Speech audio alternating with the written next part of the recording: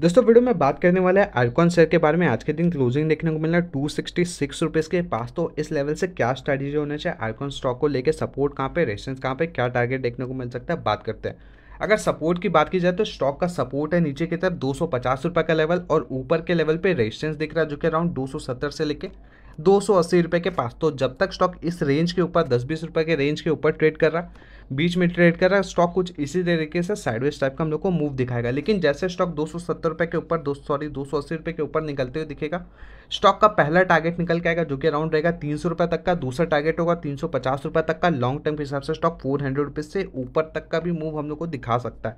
लेकिन आपको stop loss लगाना नहीं भूलना क्योंकि अराउंड जिस हिसाब से स्टॉक ने हम लोग को प्रीवियसली मूव दिखाया नो डाउट एक अच्छा खासा मूव देखने को मिला है। लेकिन जिस हिसाब से स्टॉक अभी करेंटली करेक्शन दिखा रहा है मे भी हो सकता है दो सौ पचास रुपये का अगर गिरावट दिखाए तो हो सकता है दो सौ रुपये तक भी स्टॉक आ सकता है। इसलिए आपका स्टॉप लॉस होना चाहिए। मस्ट बेराउंड दो सौ पचास से लेकर दो सौ चालीस रुपये के आसपास तक का इस लेवल के ऊपर ट्रेड करना कोई दिक्कत की बात नहीं है।